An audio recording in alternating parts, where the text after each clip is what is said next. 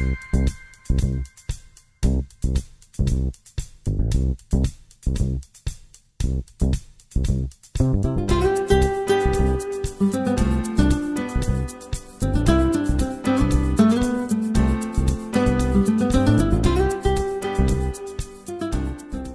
today are doing Parents as Partners, so we've decided that we wanted to give the parents some tools to help them help their kids love reading.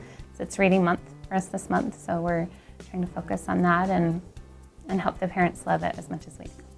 We're giving them tools to help them know how to um, dig a little deeper into their students, what, what their needs are.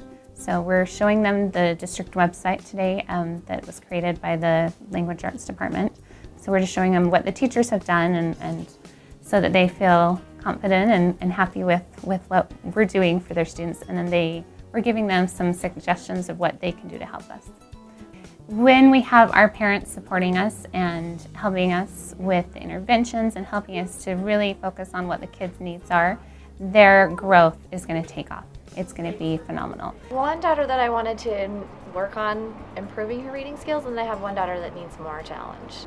For sounding out the really large words for my kids, I didn't think about breaking them down into little sections to help them sound it out, and I was really surprised with. I went to my daughter's class that needs little bit of extra help, and she just helping her, like after she underlined the syllables and then we broke it down into sections she was able to sound out words like blasphemy, and I never had, you know, I would not have known how to help her with that.